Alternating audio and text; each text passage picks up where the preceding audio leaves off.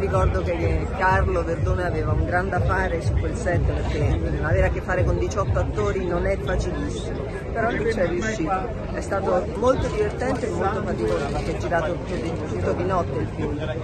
E poi, e poi alla fine insomma era Federica che si era rubata i soldi. È vero allora.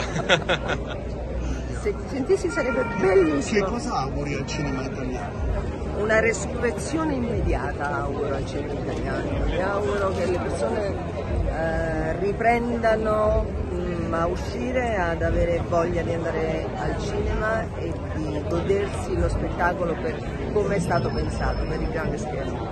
Ricevi il premio alla carriera, una carriera, una carriera anche grandi successi, quello di cui vai più fiera. Uh, no, non ce n'è uno uno che preferisca. Diciamo che ho scelto di fare questo mestiere eh, con Sei tempo messo in gambero in teatro. Prima avevo fatto due film, ma insomma ero lì una specie di turista.